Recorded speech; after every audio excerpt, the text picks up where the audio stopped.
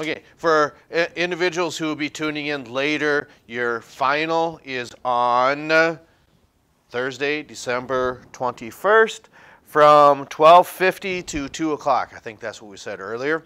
I mean, a lot of these uh, signs are posted, so what will probably cause uh, problems is going to the correct class on Thursday because tomorrow is pretty straightforward. You go to first hour, then to second hour, then to fourth hour, then to seventh, and seventh hour is tomorrow afternoon. Okay?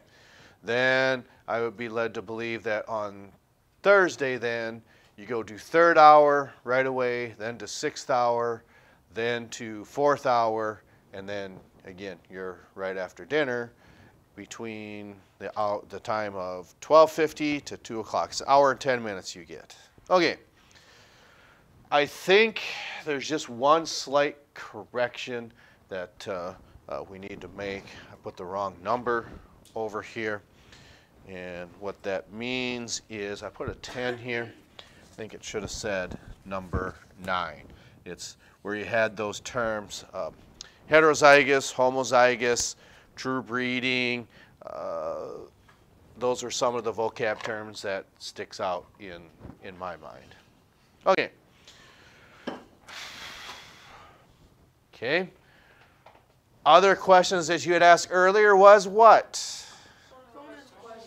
Okay. So, here they are. Okay. So, in case you can't read it, listen to it, then hit pause if you're tuning in later. Okay? It says in Star Wars, okay? If you are hearing James Earl Jones, you are viewing this character. So to put that in context, you could say in Toy Story, if you are hearing Tim Allen, you are viewing which character? Buzz, okay? Otherwise, if it was Toy Story and you are listening to Tom Hanks, then you're viewing Woody. Okay, so that's what that means. In the 1980s, Mr. Mister was uh, a group name that, and that artist is on my playlist. I think it's uh, called Kyrie is the name of the song. So it's just, uh, uh if you ever watched the show Home Improvement, Tim's neighbors called Wilson Wilson. So it's just a name of a band that has the same name repeated.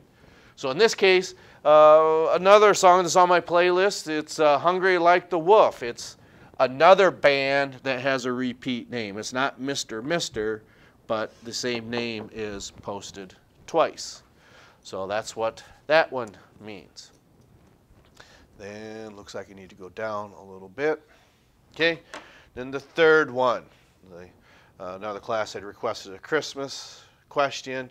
So what's the real life name? In other words, what we mean is if we were asking for the name of Buzz or Woody, that wouldn't be the answer. You want the real life name, Tim Allen or Tom Hanks. So in this case, sorry? Yes. So what is the real life name or the actor's name of the character? that gives Kevin's mom a ride home to Chicago in the movie Home Alone. This same actor was also in Uncle Buck. Same with Macaulay Culkin was in both Home Alone and Uncle Buck. So the answer to this, okay, was also in Home Alone and Uncle Buck. So the real life name of the actor.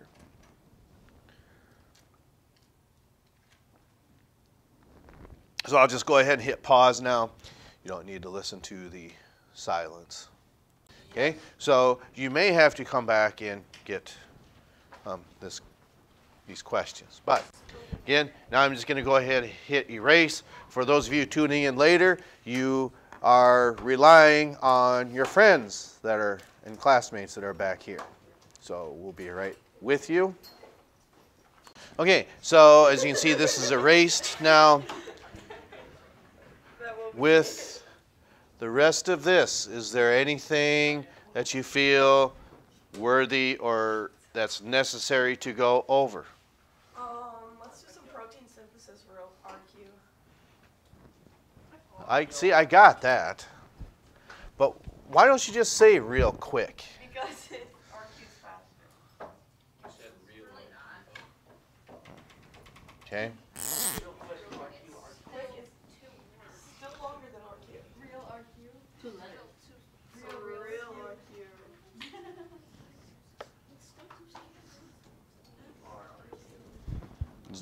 Oh, s- Could that be something that will pertain to some of you in the future, right? Your ACT test. Yes, or you might act, okay? So if this is one part of a DNA molecule, what would be its corresponding structures on the bottom? Okay? So then what happens is if we were going to replicate this on the outside, okay? So this is still DNA that's in the middle. What would be on the outside if it's DNA? C. U. C. U.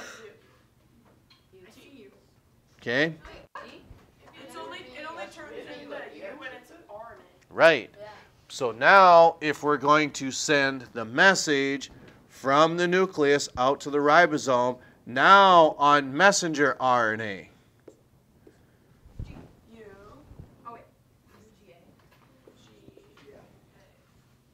Okay? So then this goes to the ribosome. We've got U. Oops, nope, the other way. Because this one was first. Okay? So we got A, G, and then U. Okay? So then what happens is this codon will code for something very specific on transfer RNA. Remember, this is messenger RNA. Then transfer RNA comes in here and physically picks up something. That's what they're called, but doesn't say what they pick up though. What it is, like, What is thyroxin, calcitonin, parathyroid hormones are really long units of what? Well, that's what they do. What's their composition?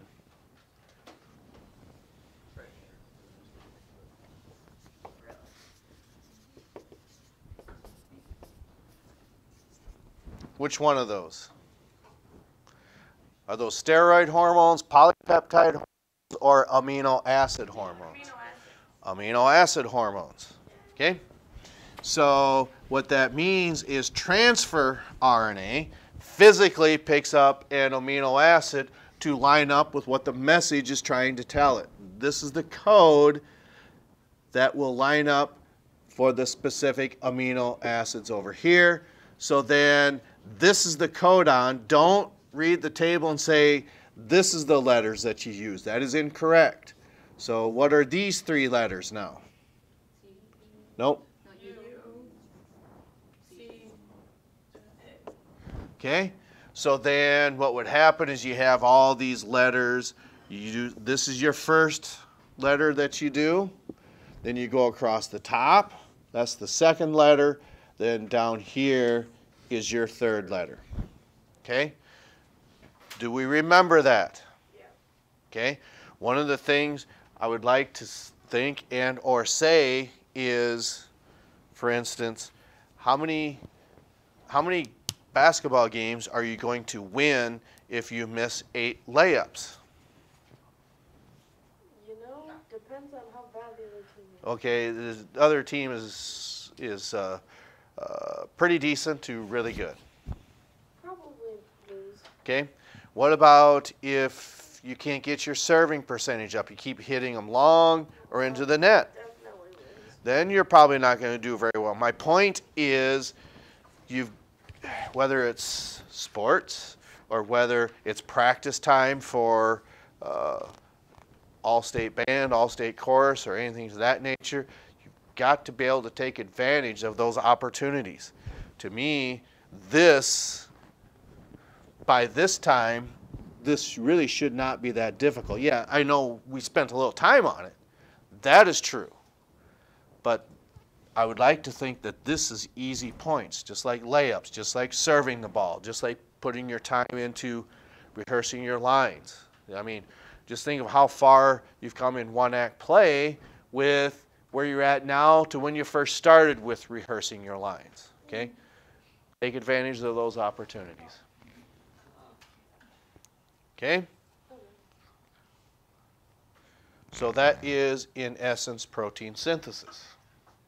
Because you're taking the directions that DNA has. If it's not replication, you're taking the message in the form of messenger RNA, and the transfer RNA physically picks up the amino acids according to the codons. And these are your anticodons. Anything else? Okay? Yes.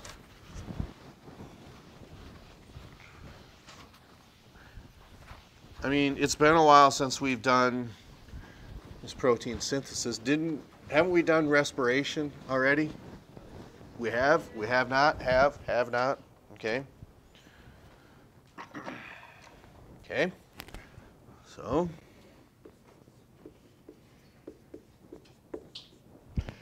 that glucose gets broke down in a specific process and it's called glycolysis. Okay, you're not making that up. Why did you know that? Because you're right. Because I listened in class. and I Okay. wrote it down. Couldn't find it? No, I just wanted to go over it again. Oh, okay. So then, in this process of glycolysis, two things have to happen when you get down to this stage. Okay? Okay? That's one thing we need is okay. And you also have to have this acetyl Coenzyme A. coenzyme A. That's right. Okay? So, in this entire process, how many total, that's a trick question, how many total ATP do you get from this? Four, but the net is two. But then, for this process to take place, it takes two of those. So then, here is your magic number for glycolysis. Then, should you have everything fall in line, that this all these biochemical reactions can take place, okay? The magic number in here, Thirty-two, four of it. Okay? Then, when we look at this, okay? Then our total number is. You know, I'm going to look, and I'm going to make darn sure that that's right. So, hang on. Okay, I'm glad that we looked because on this September 19th, okay, it's got this and then our magic number. I was thinking that wasn't right. That's why I thought we better double check that. Okay? Yes. So like when this cycle happens, you know like when we're like running or something and you get really tired, you have to build ATP. Will there be times where like that cycle doesn't make thirty-two? Or like Right, is what we call oxygen debt because if you're running low on this, okay, that's why Mr. Rollins always wants us to stop. and You still- this process might halt, but you still produce energy. It's just not very efficient. And then when it's not very efficient, that's why you get really, really sore because at the end of this, your end product, we said, starts with that. pyruvic acid. And then anaerobically, this, this pyruvic acid can be converted to lactic acid. And when that happens, that is where you can get two ATP, not additional ones. It means that this has halted, it can't go into here, and then this is specifically what's happened. That's why these numbers have to match. That hits around four hundred meters of sprinting. Could be. And then that's why you're standing, you're trying to catch your breath because, then it just collapses. well, we hope not. Where does oxygen have to go? There's, you have to send oxygen to your brain, Your heart. your heart, Your uh. your diaphragm. Okay? Those are three areas you have to have oxygen. This you can go without. It's just not as efficient. Eventually, you will have enough oxygen because your body becomes conditioned to that. So the threshold for this begins to not increase, it begins to decrease the amount of oxygen that you need because your body becomes more efficient. So that's why you're able to stand the ability of running much longer than what we think your opponent does. I mean, is it still a signal to a coach that I'm gas and I need to come out? Do you is this still a universal signal that I got to come out or this? What do you do? But if you needed to. I'd say husband needs some, but yeah. Oh, okay. Oh, will also work. That does also work, right? Okay? So is glycolysis always happening, or just when you're, Glycolysis is always happening. It just doesn't work as hard, doesn't it? Correct. If you're just sitting down, it doesn't work as hard. But like. No. Because you're not using a lot of energy that quickly. Okay? It's when the demands go up, like you had mentioned, that this is going to change. Running, for instance. Okay?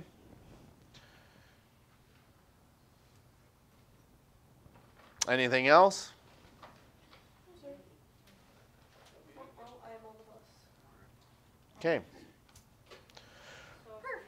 And one of the things, whether it's sports or whether it's academics, we want you to be two to three steps ahead of everyone else that you meet at the college level as freshmen.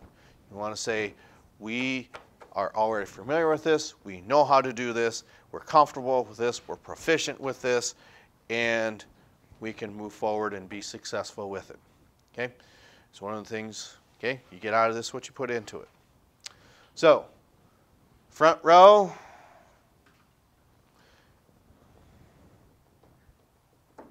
Second row. Third row. Okay, everyone's nodding their head yes. So, that is all we have. That concludes materials for this semester. So when you come back, we begin with evolution, and uh, then your semester exam again, the 21st at 12:50 to 2 o'clock. We'll catch up to you next time.